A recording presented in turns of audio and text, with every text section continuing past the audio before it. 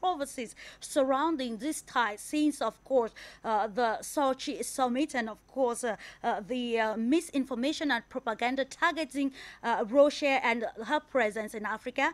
Today, we want to draw that line to understand better what it, it's all about cooperation and how it is different from interference. And we are taking the Russia-Africa ties as a, a, case study, like underlined uh, uh, the ties between Russia and African countries have been existing for some years now. And of course, the past few years have uh, seen a surge in this relationship. And of course, without taking too much time, I want to introduce uh, the uh, illustrious panel that will, a panel of experts that will give more insight on this very important topic, drawing the line between interference and cooperation as far as Russia-Africa uh, ties or relationships are concerned. I'll be taking you now to the United Kingdom. There's uh, Mr. Ellis Clinton, who is a geostrategic and, of course, uh, electrical, electrical power engineer. Thank you for joining us this day, sir. Thank you very much, Clarice. I'm very happy to be here to participate in another of um, these, these fascinating um, discussions that we normally have whenever we meet up on your fantastic program. So thank you for the invitation, and I'm very honored to be here today. And it's always a pleasure, Mr. Ellis, to know that you have always considered having your views heard on topical issues that affects the African continent, let me call it Mama Africa, as you fondly call it, and of course, how we need to draw the lines between uh, interference and cooperation in uh, this era of multilateralism. And of course, uh, we are going to meet uh, uh, Mr. Patrick Poppel, geopolitical analyst, also expert uh, at the Center for Geopolitical Studies in Belgrade. Hello to you, sir, and thanks for joining us on the Pan-African Television. So thank you. Thank you very much for the invitation because it's important to talk about this um, uh, topic because very important is that Africa have than in the past and so I think we must talk about this now to prepare prepare uh, new ways for the people in Africa. Indeed, very imperative uh, for the people of Africa. We need to strategize, like we underlined in uh, the preamble. There is need uh, for countries to choose and to be tactical with whom they trade at every sphere. And that is why we are here today to draw a line to bring a clearer understanding between the terms interference and cooperation. Without uh, much ado, we're going to proceed straight to the analysis. Just to remind our viewers uh, that uh, Julia Burke will be joining us subsequently as we uh, continue with this very important topic. I'll kick off with you, Mr. Ellis. We are talking interference and cooperation, taking Russia-Africa relations as our case study. But then before trying to bring the peculiarities uh, that mark this uh, relationship between Russia and the African continent, let's understand the terms interference and how it is different from cooperation, and we see how Russia fits in here. Thank you, Clarice. Very, very important question. When I think about interference, I think about interference with regards to the military intervention in Afghanistan. That had um, a UN Security Council, which had unanimous agreement among the international community, including Russia, which gave support um, to the Americans because they saw it important to essentially go after the alleged um, attackers of 9 11. But the issue of Iraq is another story where Saddam Hussein had made certain decisions to ditch the dollar um, and to use the euro.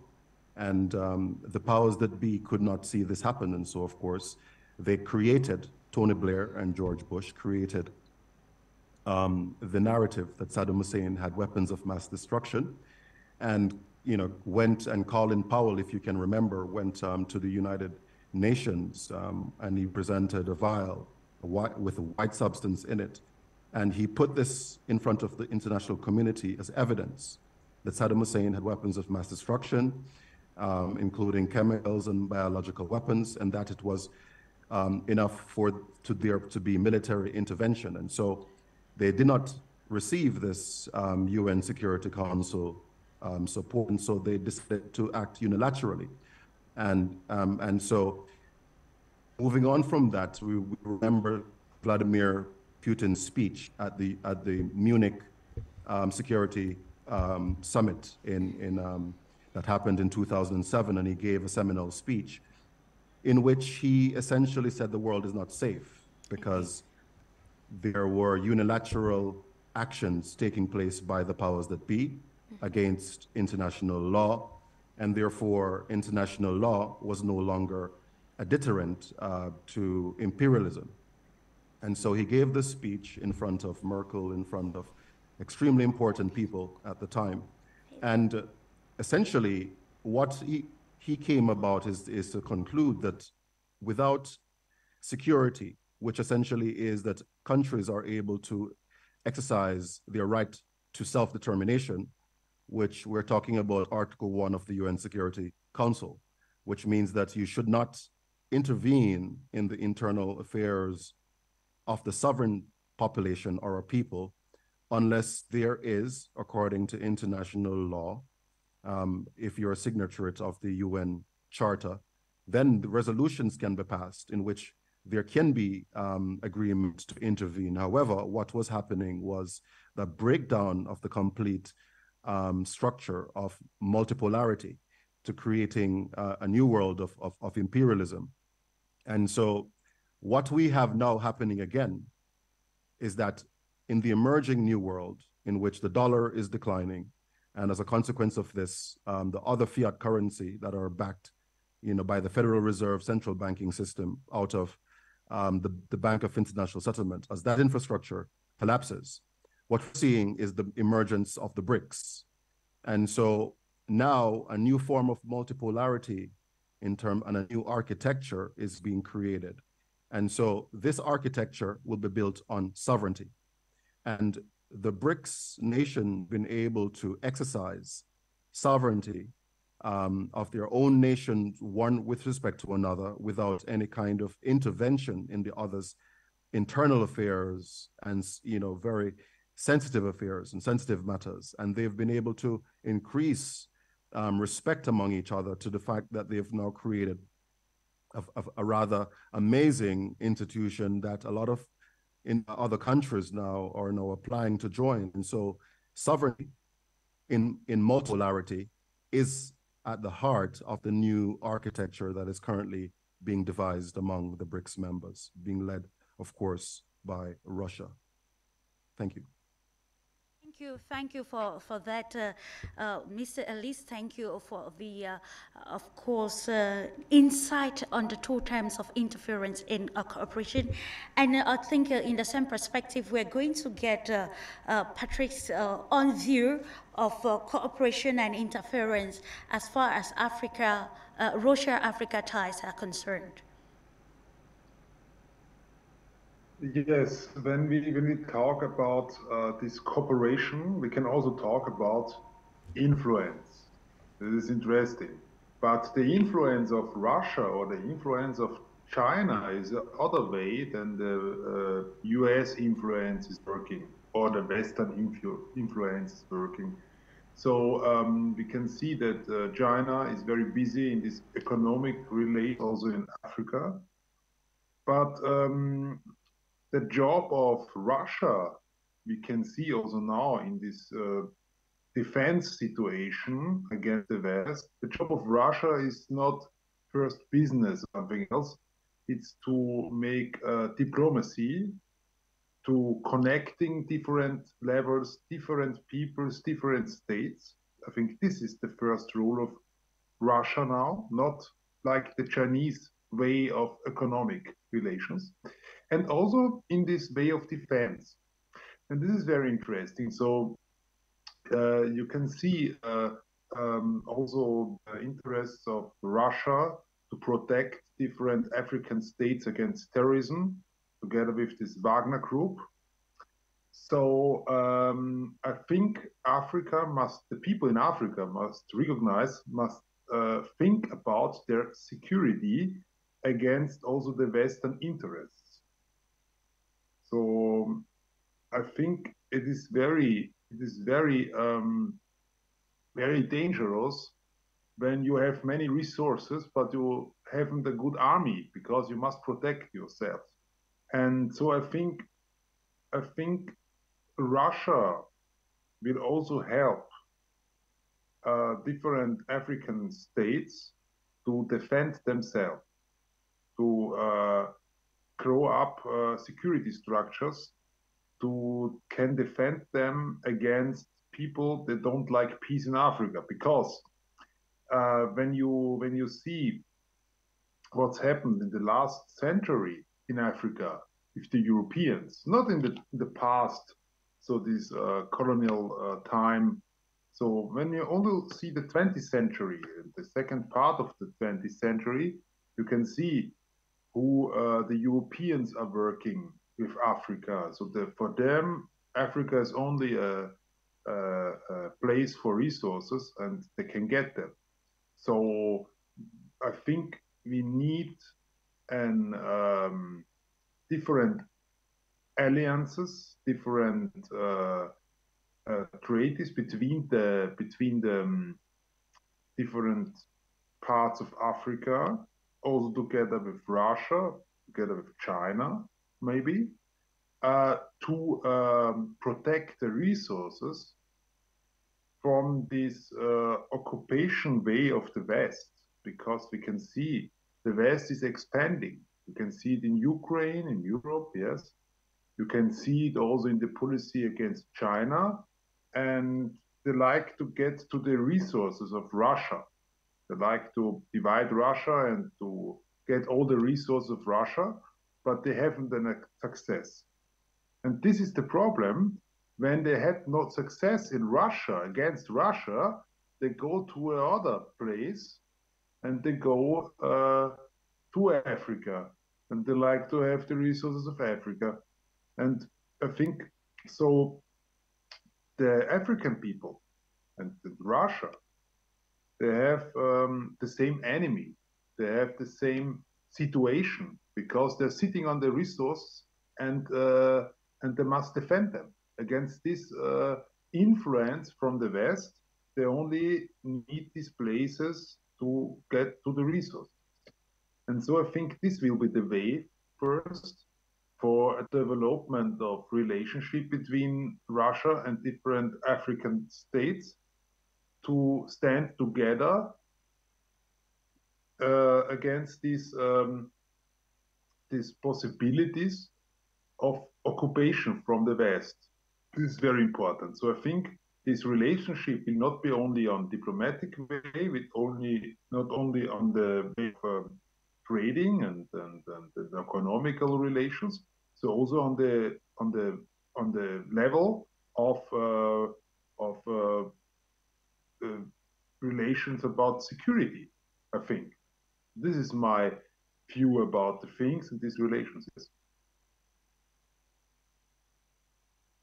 For the uh, insight uh, on this uh, topic for discussion uh, day, uh, which is focused on uh, Russia-Africa ties and drawing lines between interference and cooperation. Like announced earlier that Julia Berg will be joining us subsequently. Of course, she is joining today in a different perspective because she's joining live from uh, Media studio. And of course, it's with pleasure that I welcome you to Afrique Media Media. Welcome to Afrique Media, dear Julia.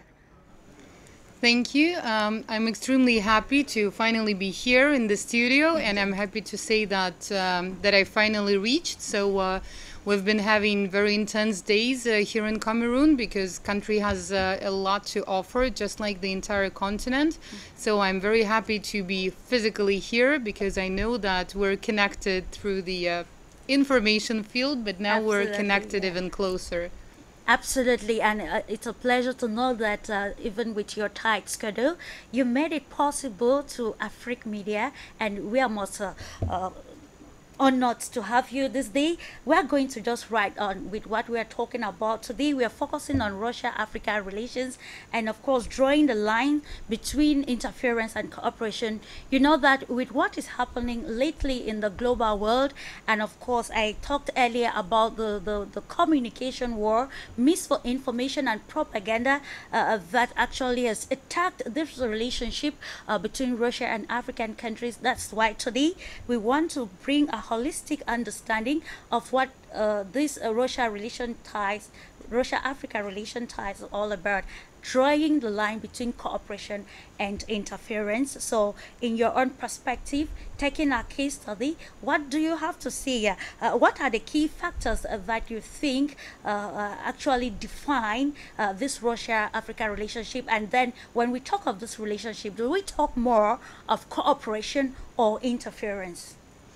Well, you know, I um, I will answer this question by going back in history a little bit and then sharing some of the um, impl- applied impressions that um, I have from uh, my personal experience and experience of my uh, colleagues and friends. Right? Yeah.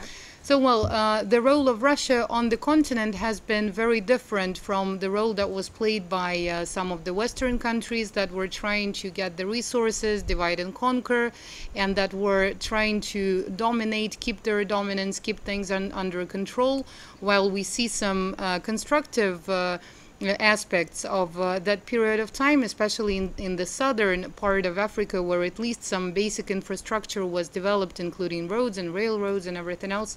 Uh, here in this region, unfortunately, this is less obvious, and the methods used by the, the, the Western uh, countries before were varying from some extremely harsh ones to just simply abusive ones, right? Yeah. So, despite of that, uh, well, the role of Russia has been significantly different because uh, I think one of the key moments when it played its role was uh, starting from fix- 50s to 70s, where when the Soviet Union was supporting all of the movements for independence, and that formed certain, uh, let's say, partnerships. Uh, but those were more of uh, tactical partnerships because they were, uh, let's say, partnerships uh, against a common enemy, right? Sure. So um, uh, just now I was traveling across uh, Africa in uh, quite a uh, quite an intense journey, and I, I've now uh, visited the Republic of South Africa, Zimbabwe, Zambia, Morocco, and the trip uh, continues. Right. So in Zambia. Uh, the feedback that I received from one of the people that we were talking to, and he's a business consultant, he said that one of the mistakes that was made at that point was that no ties, uh, uh, no business ties were established back in the 70s, right? Absolutely, so, yeah. despite of the fact that there was some investment, you know, the struggle, the blood spilled together, and everything else, uh, uh, n- the results uh, of this were not uh, fixed by neither side. So the partnerships between Russia and African states were not really formed in a way in which it could ensure active cooperation. So now we observe a situation in which Russia doesn't really have any soft power that it uh, uses to promote itself. If you go out and ask people here in Cameroon about Russia and Russian way of living, people wouldn't have much to say because they don't see films in Russian, uh, episodes like Serious in Russian, nothing. There is no source of information because Russia is not doing it on its own. That's number one. Number two is that uh, in terms of business cooperation, in most cases, it goes uh, up to uh, corporate. Um, agreements. It goes up to uh, intergovernmental agreements but at the uh, uh, medium-sized business level or small-sized business level all depends on specific people and the role the role of personality in history becomes extremely huge. So over here what i was seeing in cameroon and other countries you know if uh, businessmen were taking more initiative to reach out to each other to create some joint ventures it would have changed the situation a lot. And that's i think uh, one of the key differences Uh, between the approaches being used and one of the reasons why we don't see that much of cooperation as could have been possible because there are some success cases when Russia uh, when Russia supplies some of the technology supplies some of the simple cheap and uh, durable solutions. Then Africa uses it here on the continent. It produces its goods and it sells it to Russia. That uh, is valid for agriculture where Russian fertilizers and uh, some of the equipment from Russia Belarus is being used here to you know to uh, uh, have to harvest uh, um, you know the um, like the fruits and uh, the agricultural products Yeah. and then to send them back to Russia either raw or processed so I think there are a lot of co- co- collaborations that could be possible and this lays uh, the perfect foundations for this kind of uh, uh, this kind of joint uh, ventures and generally speaking cooperation. So in terms of interference you know uh, there was some at some point in order to support the movement uh, for sovereignty uh, but at the moment interference are just uh, you know some uh, some very modest attempts to uh, establish some ties uh, which sometimes do work out sometimes do not Okay, okay. Thank you for that, uh, dear Yulia. And uh, we are riding on. If you are just tuning in, uh, this is Views on the Continent on uh, the Pan African Television, Afrique Media. We're going to continue with you, Mr. Elise. And now to this question now: In what ways could, uh, in your own perspective, uh, in what ways could Russia's cooperation with Africa, given uh, all you've said and all Mr. Patrick has said, and what uh, Yulia just added right now, in what way could Russia's cooperation with Africa contribute to sustainable development and address the continent's uh, pressing socio-economic challenges, especially in uh, the present uh, century? I think um, the most important subject is sovereignty. You know, you, if your people have a, a, a desire, an aspiration to get from point A to point B, whether it's socioeconomics or education, health, you know, we have the right as humanity, I believe, to self-determination by God. It is not given to us by an institution or an organization. These things are enable, inalienable to us as given to us by God. Unfortunately, when we live under imperialism, what tends to happen is that um, there is, uh, you know, a monarchy or, you know, it could be a technocracy, as in the case of the European Union. What tends to happen is that they think that they can decide the future of the, for the individuals. So they talk about influencing behavior. So if you listen to Larry Fink of BlackRock or George Soros, you know, of and and and any of their institutions or think tanks coming out of their school of thought, they believe that they have a right. Klaus Schwab, for example, in his book The Fourth Industrial Revolution, where they want to influence behavior through, you know, the, the ESG of the UN, and of course, we're you know we're talking about um, connecting the, the economics to the so, the sociological aspect you know human behavior so we're taking uh, things away from it being a meritocratic, meritocratic system which is based on the individual having the ability to have the freedom to use their creativity to then decide their future for themselves to a highly technocratic one in which there is a, a top down kind of approach and what russia has to offer is an architecture for protecting your people against this dangerous imperialist agenda. Um, because, as a brother Patrick said earlier, in terms of defense, defending your resources, you don't stand a chance if you have a pot of gold in your house and the entire world knows you have this pot of gold in your house, but your locks are not very safe. And you haven't got the armament to protect yourself from intruders because the world is not safe there are many imposters and intruders people coming you know like angels only or or or or like sheep but really they're wolves. So there's the book confession of an economic hitman written by i think um, uh, i can't remember his name john perkins is his name. And he gives essentially the explanation about how it is that um, the cia or the military industrial complex and all of those institutions tied to um, you know the intelligentsia and of course back to Switzerland with the central, you know, the Bank of International Settlement, that is essentially the central bank of all central banks, and how it, goes about proliferating ideas through the UN, through consult consultancies, you know, um, you know, like the Goldman Sachs and all the rest of them, you know, the McKinseys of this world, right? If you do not have security, you cannot exercise sovereignty. And so what we have is a chicken and egg situation that you cannot if you're Africa, you cannot have security because you have no economy. And your economy is really based on your ability to have security. And so, what Russia can offer, really, as I said, is a friendship, a strategic friendship and partnership that is absolutely required in order for you to be able to start to exercise sovereignty from inside of your country, um, where you can now elect your own government without intelligentsia coming in and and and toppling a regime, a regime, or rising up essentially, um, you know, a kind of a coup d'état or whatever else. You know, unless the society is secure and your and your and your state is secure, you can really have no um, no no prosperity. And so Russia as a partner can really strategically help in this particular regard.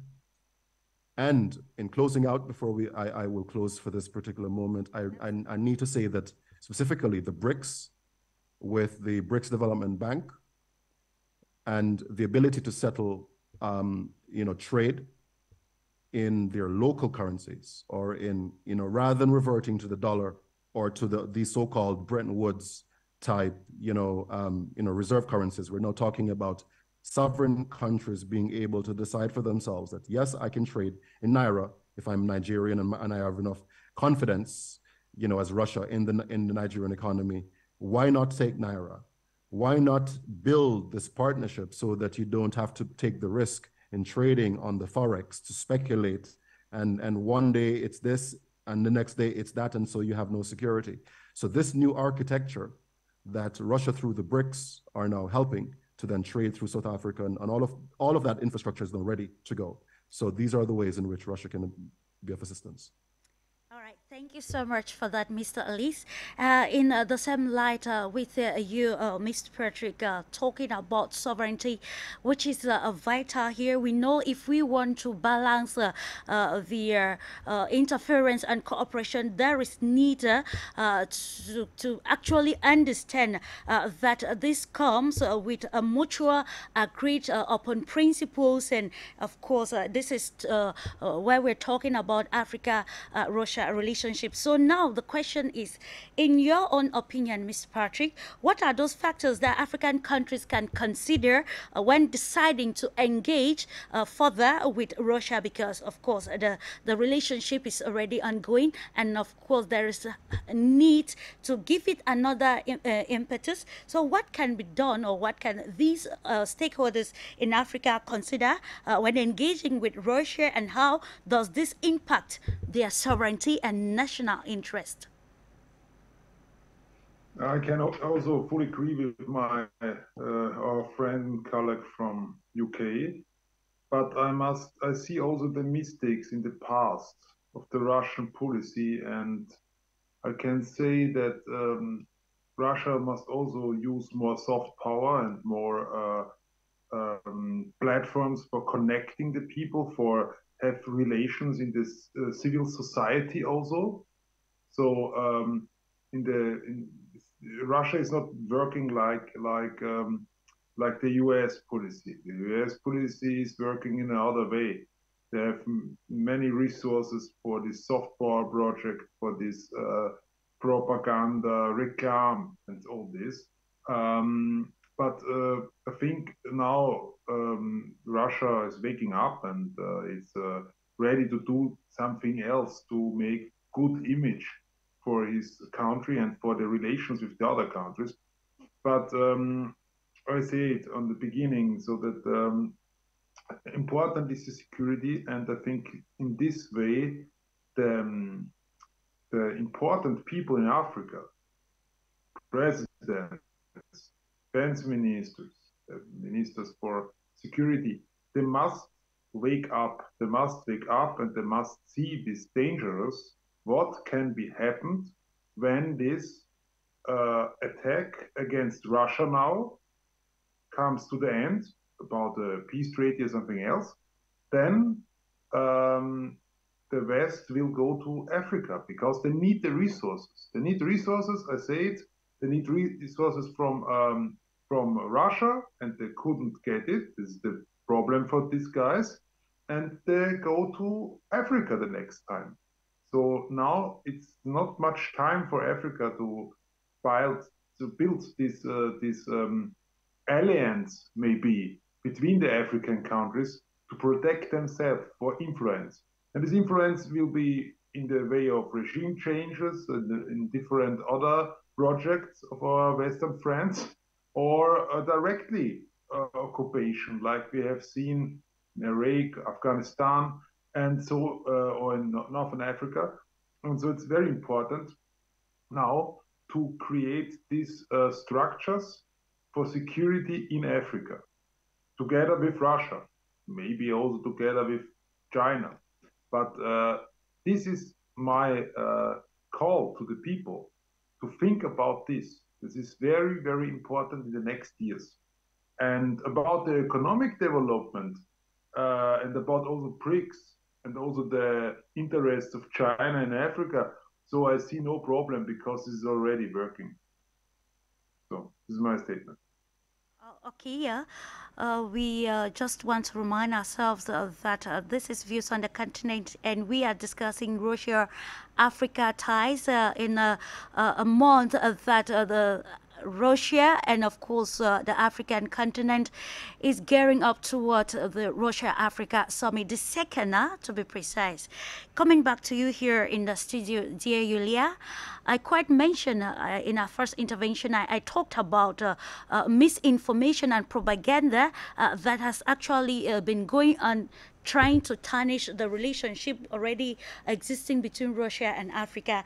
And now, when we talk of interference, uh, some people always uh, have this mindset like like let's say that the critics will say uh, Russia is involved in, in exploiting uh, weak governance systems or supporting authoritarian regimes in in Africa. And I think uh, the the reason for for for us to elaborate on this uh, topic is to uh, bring things clear to the world, understanding clearly how Africa-Russia intervention is all about and uh, that it is more of a win-win. So in your own perspective, what can you say uh, to this uh, pessimist uh, view or pessimistic views regarding the Africa-Russia ties?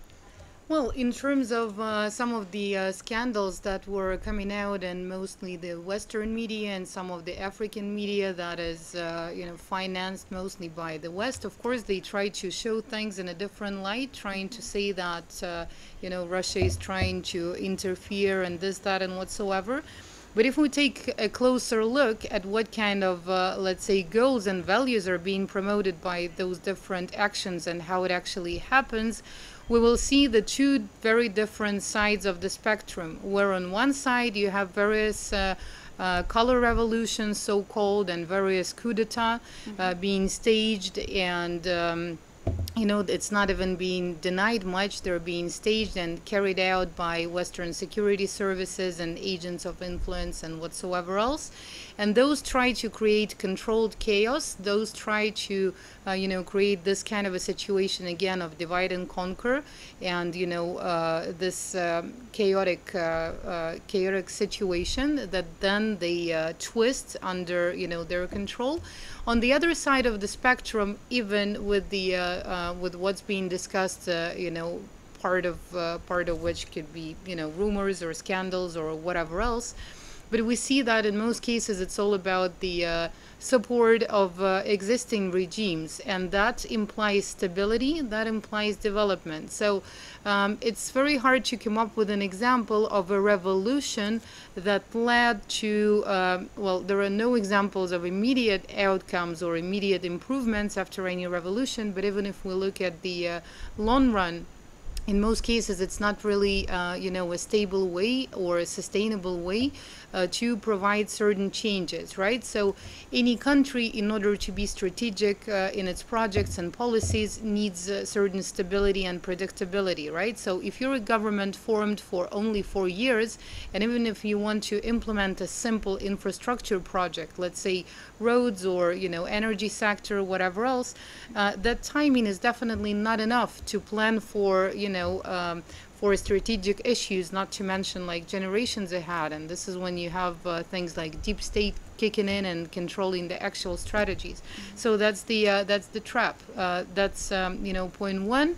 And point two is that uh, if uh, um, Africa reaches out to other partner, to well, any partners, let's say, right, for uh, China, for the goods and uh, finance and resources, for India, for partnerships in specific areas or uh, if uh, African countries reach out to Russia for uh, some of the uh, simple technology or basic infrastructure or security or whatsoever else, in order to improve uh, life and develop, uh, you know, various areas on the continent. So that is a natural right that those countries are supposed to have to reach out to different partners and pick and decide okay you come here and let's build infrastructure together you come here let's ensure security mm-hmm. uh, those are absolutely logical and natural things that sometimes are presented as some kind of scandals which sure. uh, in the core cannot be so absolutely yeah which is very imperative uh, uh, to bring uh, clarity to, to all of these uh, uh, in the moment of high uh, geopolitical tension and also multilateralism like we underlined earlier on. The fact that some parts are losing grip on Africa it's becoming tumultuous for Africa itself and that is why it is imperative for stakeholders government stakeholders even the private sector uh, to be tactical and of course intentional about how and why they engage in uh, in every uh, cooperation with whosoever uh, they are engaging uh, uh with regarding uh, uh, this international cooperation in contemporary society. let, let me continue with you, dear Julia, before going to meet Mr. Elise and Mr. Patrick now you've you've had a tour in some African countries, uh, and of course you are here today in uh, Douala, Cameroon, and that's why we are here, here in the studio with with us uh, on Afrique Media. Uh, what have you observed so far as far as the partnership between African countries and uh, other countries are because you must have visited some uh, higher institutes of learning you have visited companies uh, uh, is Russia really engaged in the aspect of trade or is there a lot that still needs to be done as they're trying to, to build a strong partnership which actually wasn't uh, given priority in the days when Africa was fighting for independence? Well, you know, uh, since there was the uh, the pandemic and all the uh, geopolitical issues and other ones taking place, uh, this time I had a uh, great opportunity to revisit some of the countries that I haven't been to for several years. And let me tell you that I was very uh, surprised uh, to see that uh, time was not wasted here. And during the pandemic and right after, mm-hmm. um, countries like Zambia and Zimbabwe, for instance, used that time slot in order to think some infrastructure projects through and actually implement them. So a lot of new roads were being built and airports and uh, you know uh, many other um, infrastructure projects were being implemented. So now that I came here uh, four years after, so before the pandemic was the uh, the last time that I uh, traveled to the southern um, Africa, yeah. I found the situation very different and uh, you know much better in terms of a lot of new things just uh, coming up. So Zambia managed to uh, go through a default that kind of renewed the economy. Now it's a country that represents a very you know stable partner, so it has this uh, almost perfect environment for doing business. And uh, what I was noticing you know, after this um, uh, period of time, that uh, the pandemic actually played a huge role in uh, uh in making a certain revision because even the way of thinking is changing, and I think uh, now many people would, uh, you know, agree and understand that pandemic was a pre planned activity and you know some of the measures taken during the pandemic were uh, aimed to be more harmful than uh, you know fixing the uh, issues. So i think it uh, played a huge role also in uh, uh, people's understanding of sovereignty people's understanding of you know some of the strategies and tactics being implemented uh, around the globe. And of course, the current happenings and the uh, ongoing conflict between not even Russia and Ukraine, but Russia and NATO, Russia, uh, Russia and the so-called what we call the uh, collective West. Yeah. It shows a lot because you know people in uh, Donetsk, for instance, in uh, um, in um, uh, Donetsk People's Republic, they say that we are at the same fight with the neo-colonial uh, uh, world order, and you know they feel that they're at the uh, hot front line right now, but they feel that Africa is somewhere you know close to them, and I have uh, a feeling that many people in Africa observe that happening with Russia and the West, uh, understanding that this is the same war that uh, uh, that is being fought, but we're just uh, in different uh, locations with this, right? yeah. So that's the uh, that's the feeling. And uh, going back to the issue of uh, cooperation again, I uh, realize more and more each day that. Uh, a huge role is being played by individuals, right? And the role of personality in history, as we say, uh, is huge. So in some countries, I would hear stories like, uh, you know, if the ambassador was active enough, then businesses would come in and there would have been like joint uh, projects, and there are cases like that.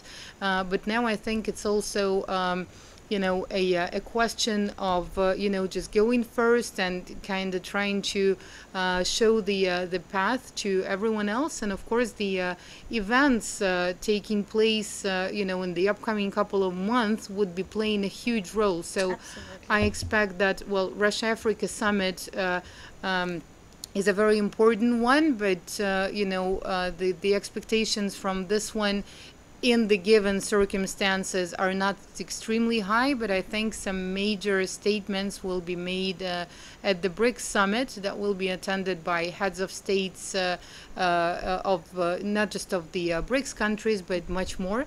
And I think some uh, you know very big announcements would be made uh, during the uh, BRICS summit. And after those two events, when uh, you know the communication is already established, there is a clear understanding of what can be done and where and how, and then new instruments and new mechan- mechanisms uh, kick in, and the balance of power changes a little bit. Then this, uh, you know, would just uh, create a, quantum leap effect in terms of uh, global politics. Very imperative, uh, dear Yulia. Thank you for that. Uh, talking about uh, BRICS uh, summit, uh, talking about the decisions uh, that are being advanced by BRICS nations.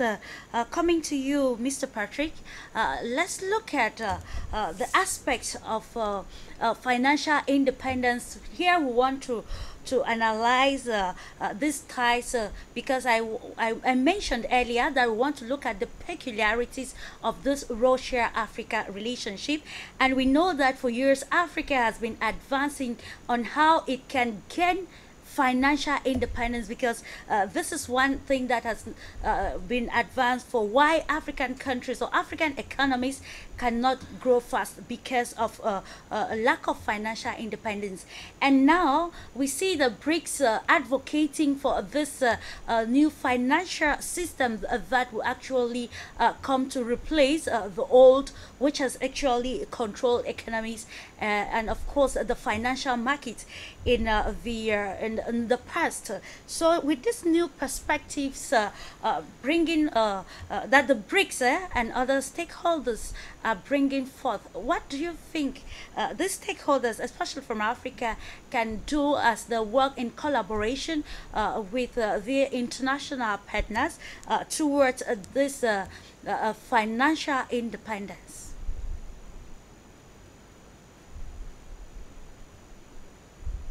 This uh, beginning of this BRICS movement, after the beginning of this BRICS movement, um, the door of the world is open for Africa. So, on the beginning, uh, South Africa joined this movement or was a founder of them, but uh, now it's a possibility for for many for many um, countries to join this BRICS movement, and this should be a, a very good uh, possibility for develop their relations in the economic way. And this is the the biggest change they have because um, now Africa is not isolated from the world.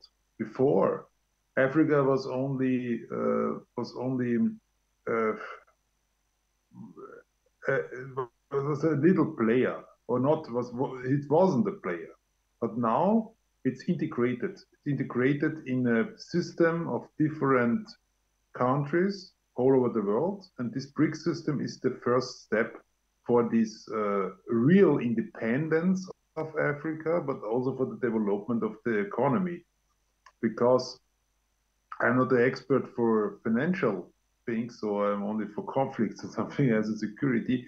But I like to speak about about this um, this war in in financial uh, levels. Yes, and we can see that the dollar is going down in its reputation, and so we have this uh, possibility to create new financial systems. Also, new markets are now founding. So uh, I think this is the, the first step for this for this independence of Africa and for this development. And then one of the biggest um, possibilities is this BRICS movement. I think. I think this is the uh, this is the best possibility to uh, grow up this independence and also this development in economics. And um, yes, we are living in a financial in a financial time. Yes, so everything is very close to the to the uh, different money you use.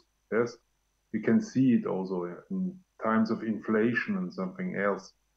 Um, but I think it's the best the best way for Africa is that many of them can join the BRICS and also go in different other allies uh, alliances, and this should be a possibility to to create this new world uh, against this imperialism of the dollar, because it is very dangerous for many countries. There is need to be very intentional in, in this uh, world that has become more challenging. Uh, let's continue with you, uh, Mr.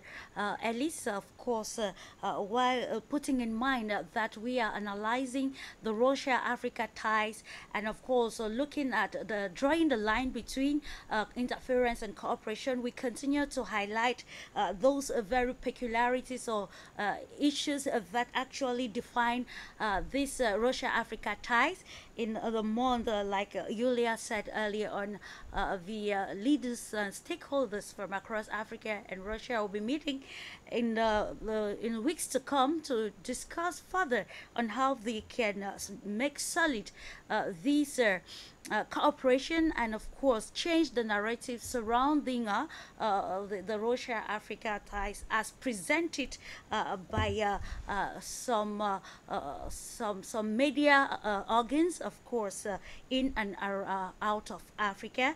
let's look at the, the Russia's military presence because when we're talking about the cooperation we talk in every sphere in every dimension and we know that security is prime and we can also uh, applaud some of the successes uh, that have been uh, recorded in Africa so far. We, we can talk uh, the Central African Republic, we can cite Mali, and of course how uh, Russia's involvement in these countries have been or brought a milestone for, for the nations. So now let's let's look at uh, Russia's military presence in Africa and how this will impact regional security dynamics and in your perspective, what measures should be put in place to ensure uh, uh, better or stronger stability and uh, respect? We are coming back to this very element which you love talking about so much respect for sovereignty.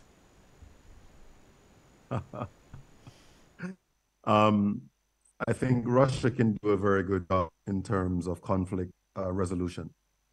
You know, when I look at Africa and looking back for so long, we've seen so many internal conflicts, and these internal conflicts are coming whether tribal or they're religious um, conflicts, or you know, you name it.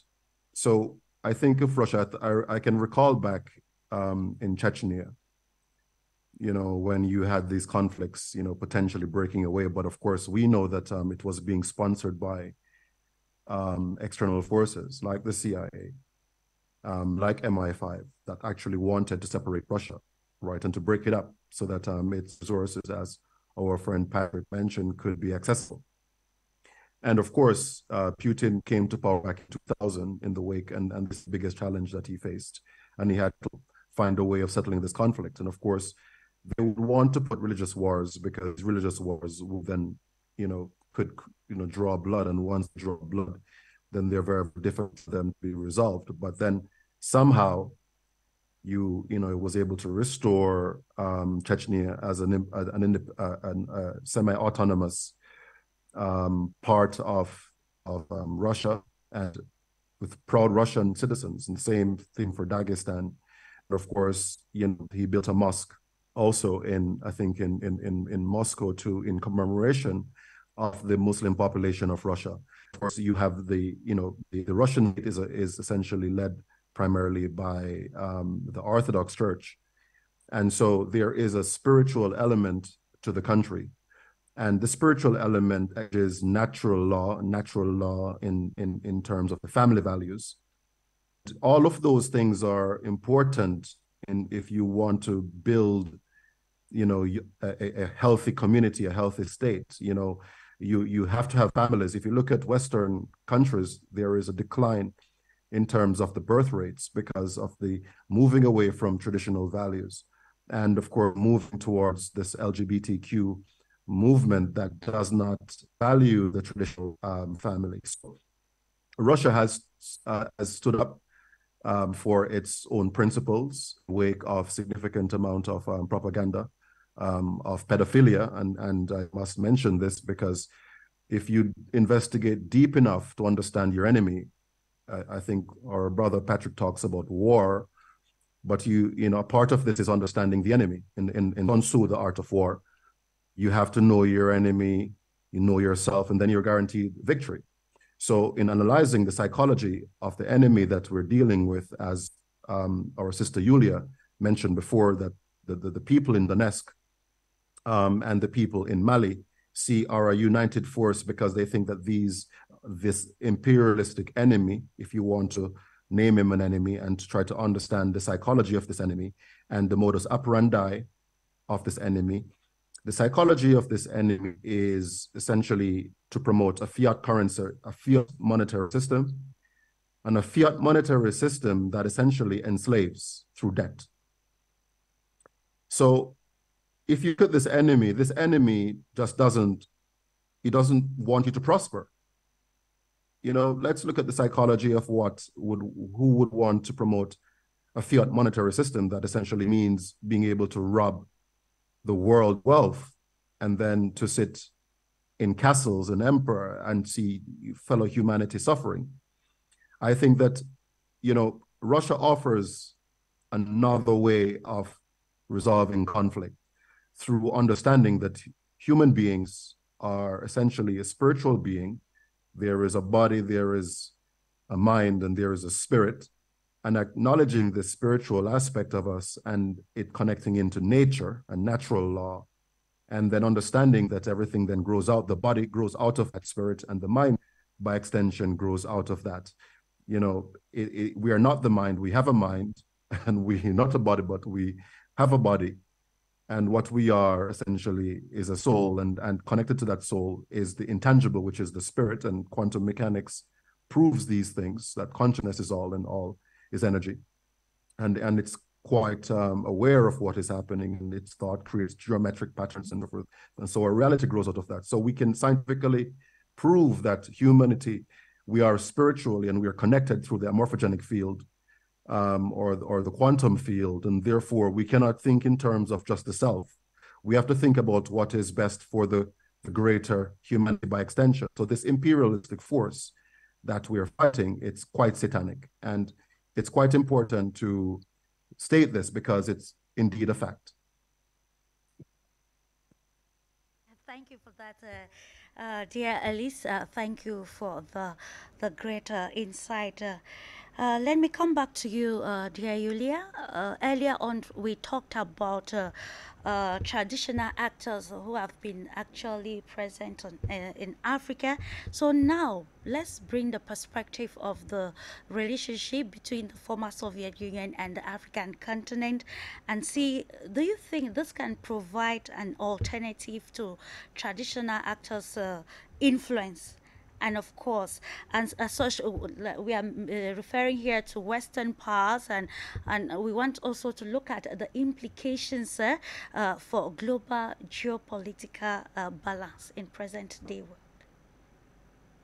Um, well, we see that uh, the situation right now is very much different from um, what it was back in, let's say, 50s and 60s, and you know, in all those times and we understand that uh, solutions would be different. I mean, the, the whole world is now going through a major transformation, and a lot of things will not be the same in five or ten years from now, right? So, what is happening right now at the globe is that uh, new uh, models of cooperation, new models of interaction, probably new financial institutions, new global policy institutions, etc., will be. Uh, um, well, they're now being, let's say, elaborated, and very soon we will see um, all of that happening around us, right? So, uh, uh, a lot of things will be different, and we can look at the previous experience, you know, draw some like conclusions from from the previous experience, but uh, we cannot, uh, you know, just take it and uh, implement it in different circumstances. Mm -hmm. So the point that I'm making now is that uh, this uh, time we're living in is very, uh, you know, fragile in terms of uh, um, uh, and and very significant for the future. So one, um, let's say, wrong or destructive action can just simply destroy everything at the same time, you know, laying the foundations for a better future now is as important as probably never before. So we have a unique opportunity to realize our own role, even at the uh, individual level, and understand that uh, to a huge extent the future depends on us. Mm-hmm. So if African business people, um, if African politicians, would be interested to diversify their partnerships and to see what is out there that uh, Russia has to offer, China has to offer. If uh, you know Russian people Russian businessmen, Russian uh, political actors would be uh, reaching out to African continent if they would actually come here, you know, and start communicating, start, uh, you know, working on joint ventures and everything, the future will be uh, much different. But it requires, number one, uh, you know, to realize own responsibility for this kind of uh, actions and number two it requires some direct uh, uh, involvement. So I think all of the uh, um, let's say uh, all of the necessary uh, relevant and logical uh, um, kind of basis, it's all there. So Africa needs uh, uh, to uh, to have a to come to a different quality level, right? Uh, to stop just exporting the raw, raw material and to sell products produced in Africa. To make sure that the value that those products have is compatible and, and African actors set the price for that.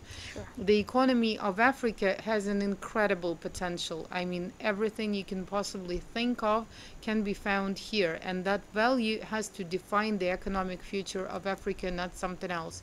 At the same time Russia has Russia doesn't have any uh, you know quality experience of like packaging things nicely promoting them selling them. Mm -hmm. but Russia has some very simple and durable technologies that it can offer for you know joint ventures.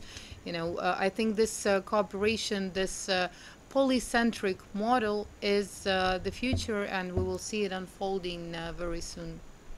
Uh, talking about uh, technology, you, you know, uh, how can, because uh, one problem that has been noticed in Africa is uh, skills development that is still lagging.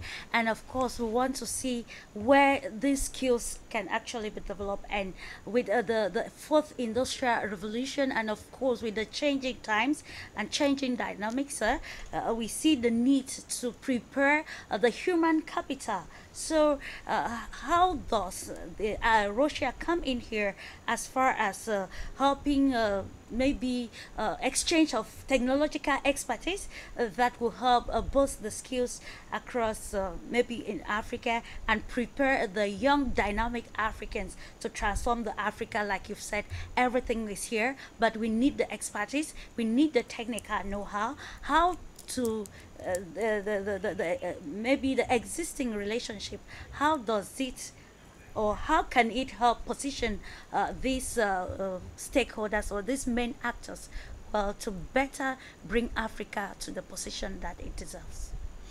You know, um, even while traveling um, uh, across uh, Africa, this one time in some countries I could uh, meet quite a lot of people that uh, have studied in Russia, speak some Russian, but those are, let's say, older uh, generations. And uh, uh, people were traveling to Russia to get some fundamental knowledge in, you know, engineering, in um, energy sector and mining because it's also a very complicated area of knowledge and a lot of other things uh, medical um, uh, you know uh, special specialities and medical professions and a lot of other things mm-hmm. but the situation is uh, very different so I think now with the uh, uh, with the communication technology that we have and the internet and so on, uh, the format could be different. Those could be joint projects or you know incoming uh, visiting um, professors and, and speakers and more of exchanges so it can be much more intense uh, than it used to be.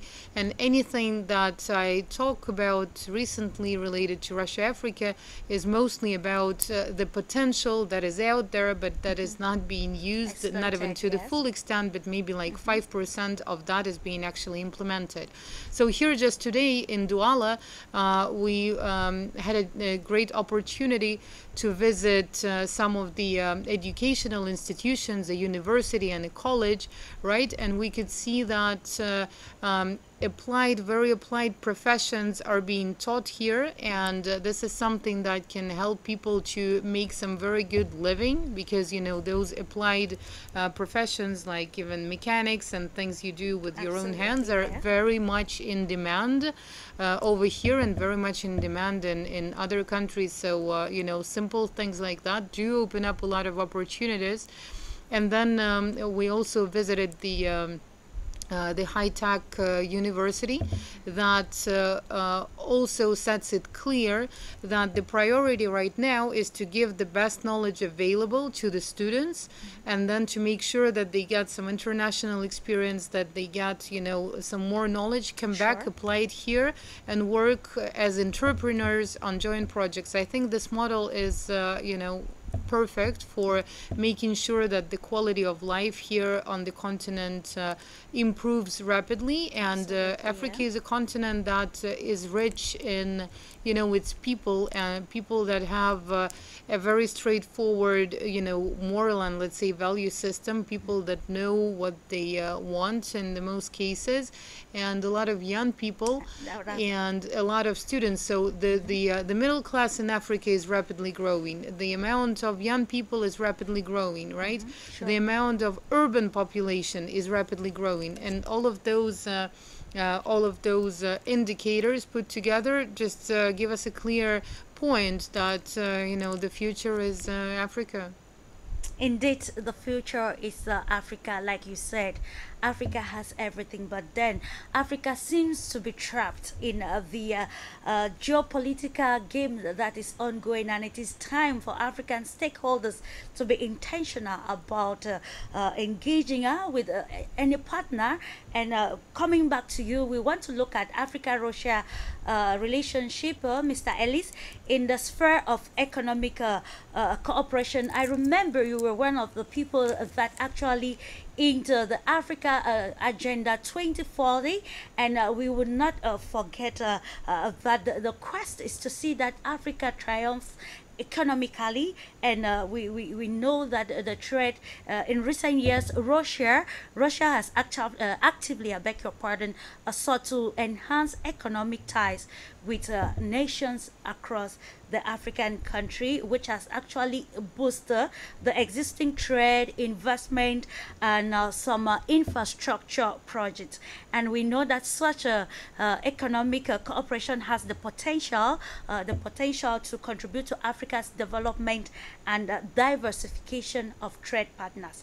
So now, given uh, the Agenda 2040 uh, that has, has, been actually uh, uh, inked, and of course with the present context uh, in Africa, which we see high multilateralism, in your own perspective, what, what are those key factors that needs to be put in place at this juncture to solidify the economic uh, uh, partnership between Russia and Africa, and of course, uh, with the goal or the aim to see uh, much economic buoyancy on the part of Africa.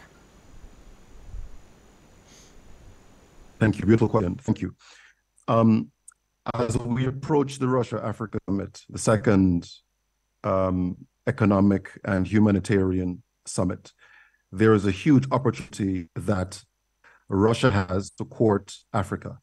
And Russia has all to benefit in being a first mover and winning the trust of Mama Africa. As Mama Africa is going to generate um, a bit of steam in terms of its economic growth projections in the coming years and decades as we approach 2040 you are a partner of Africa in creating a win-win situation. You are guaranteed prosperity for the Russian economy as well. So there isn't um, there is nothing to lose in terms of um, Russia's move toward courting, and indeed, it's being um, our brother's keeper. You know, our brother Africa has been down for a long time, exploited for a long time and and so Afri- uh, Russia in in extending a hand.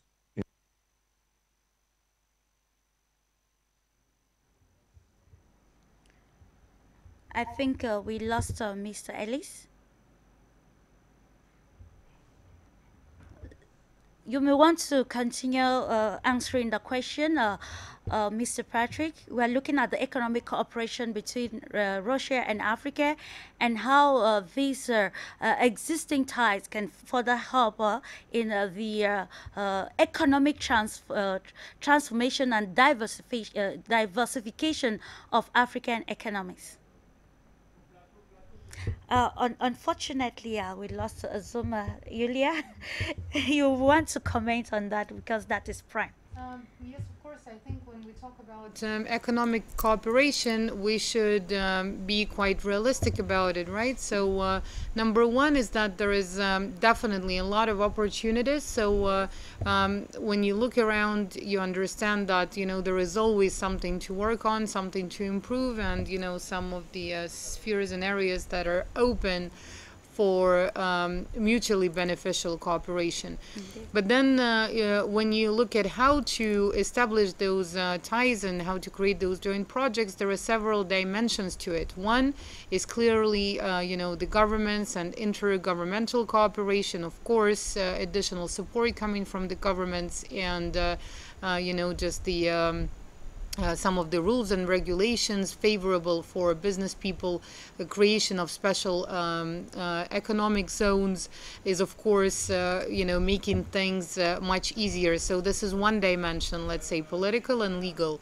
Uh, number two is, you know, corporations and when we talk about those, uh, of course, uh, you know, those are major game changers and things that they're uh, capable of implementing are also major game changers because when you, for instance, talk about energy infrastructure, mm-hmm. without this, you cannot create production, you cannot ensure uh, the development of, you know, culture and education and this and that and whatsoever because the uh, at the level of households you need uh, energy for you know a different quality of life so uh, this is uh, corporations are moving slowly. They have uh, you know their own bureaucracy procedures. Strategic projects are always uh, about many many years of implementation, but those are major game changers. Then the third dimension is you know medium and small businesses that can already enter. We see such examples like you know those uh, taxi apps, uh, Russian developed ones that uh, you know appear in Cameroon and many other countries, or you know IT uh, technologies, fintech uh, solutions from Russia that are being implemented here. Not to mention some of the uh, traditional areas, um, education, so much more to it. So I think that uh, without looking at uh, you know other dimensions, each of the actors can just try to go ahead and um, you know implement what they believe is uh, going to be mutually beneficial and realistic. Okay, absolutely. Uh, Mr. Ellis just uh, rejoined. You may want to conclude that statement because we have just uh, five minutes to be together. So you may want to round off with uh, your analysis on the economic parts between Russia and uh, the African countries. Uh, just following on from what Ms. Bird just met, just spoke about. Energy is the lifeblood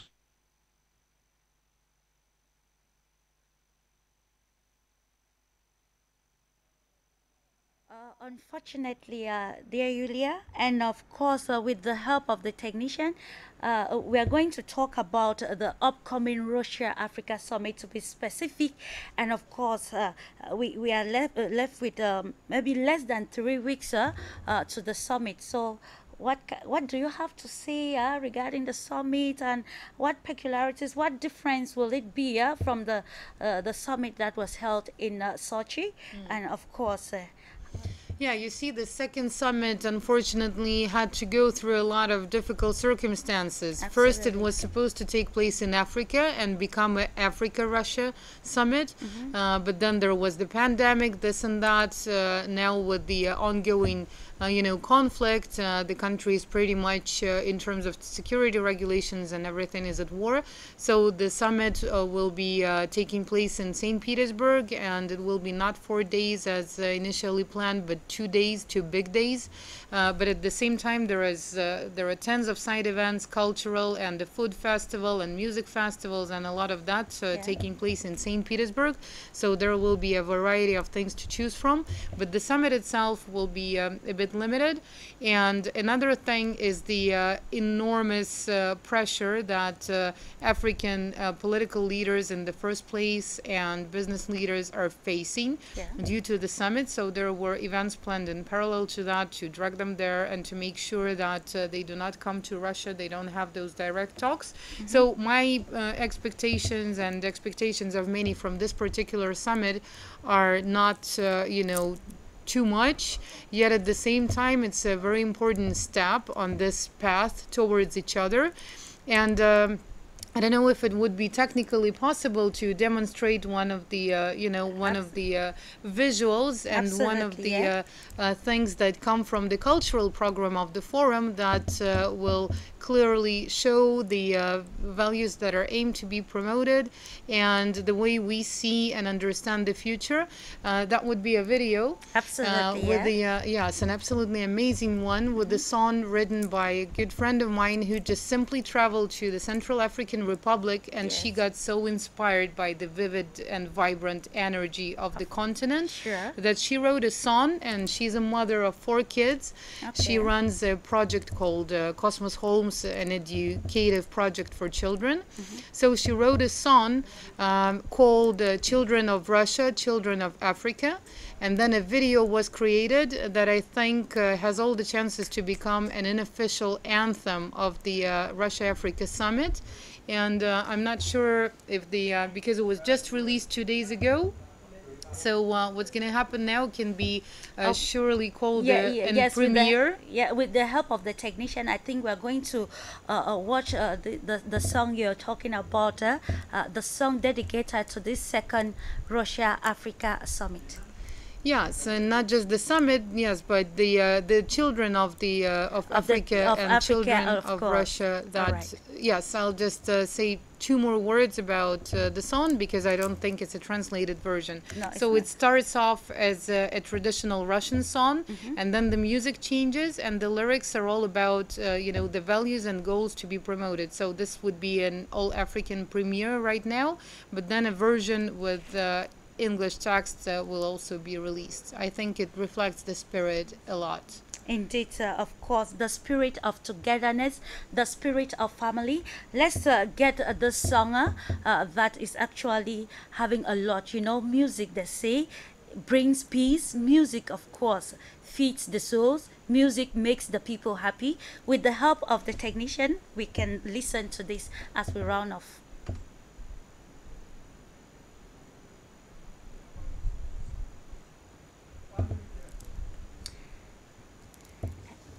Please, can we get the song, Joel? Please, can you give uh, more uh, Information. yeah, information regarding this? Uh, uh, yes. Um, uh, once again, uh, the uh, the song itself was written um, uh, after uh, having visited the Central African Republic. But what else is um, interesting about it is that the uh, the video reflects uh, the beauty of landscapes and nature of both uh, Africa and Russia and it talks about the uh, spirit of unity, spirit of love and friendship that uh, we all have uh, as our um, key priorities and motivation for moving forward. So, um, children have this pure soul that is all about peace and love and development and creativity. And this is something that uh, was intended to be demonstrated uh, in the song using the traditional music, using the beauty of nature, and using the, uh, the purity of, uh, you know, children's um, aspirations.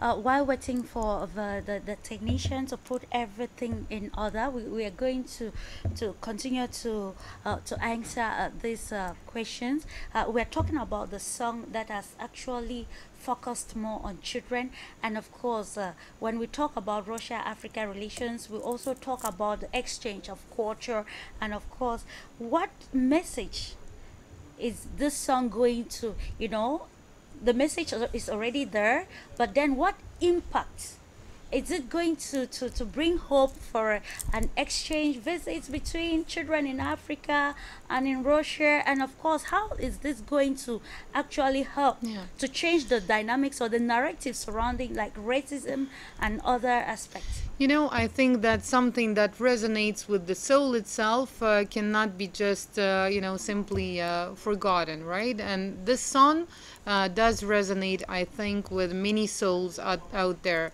So the author of the song, Natalia Vinokurova, she um, runs a project that is uh, created for children to make sure that they're exposed to constructive content, right? Because what we see on YouTube, on TV, and all over the place right now is uh, to a certain extent destructive, promoting uh, violence, uh, promoting some uh, values that are just simply destructive. There is nothing else I can say about it. So it's very important to make sure that the information, the images uh, that uh, children are being exposed to, um, help them to uh, you know to develop their own potential help them to uh, uh, stay creative to you know continue dreaming and making their dreams come true so it's all about that and uh, you know it, it could have been about uh, you know anyone because everyone has some kind of an inner child right Absolutely, yeah. within and that inner child is always about you know love and friendship and just being creative and loving life and that's what uh, uh, we're all here for i assume right to uh, develop to create uh, you know to uh, to cooperate and to make sure that life continues and to make sure that uh, it's um, uh, you know the, the the best it could be Indeed, of course, you, you said everyone, anyone is invited. Is it an open invitation for us to be part of this uh, upcoming uh, Russia Africa summit uh, that will, of course, want to experience to be able to change the narrative surrounding uh, the, the, the, the two, uh, let me say, the African continent and uh, the former Soviet Union? Yes, well, despite of the uh, you know difficult circumstances, uh, Russia is open for anyone willing to visit, and uh, the summit would be a perfect venue to uh, talk about Russia-Africa relations.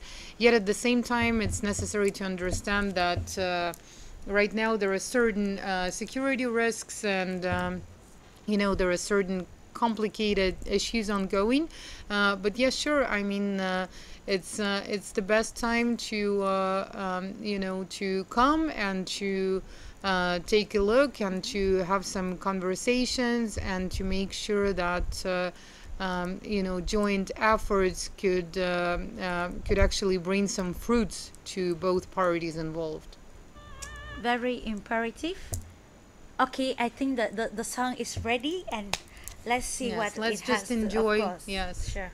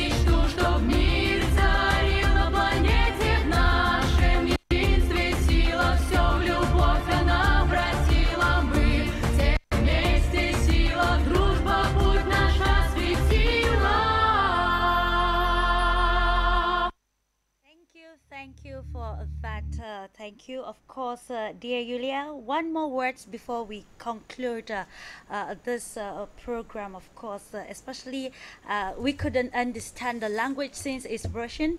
Uh, it's true you have elaborated more on what the concept of the song. Just one minute before we conclude. Uh, well, um, uh, concluding, the uh, the most important thing that I have to say is that I'm very happy to be here, and uh, you know it's uh, it's an amazing feeling to be here in the studio, and uh, I wanted to share something that some of your uh, viewers might not know, which uh, impressed me deeply. Right, so.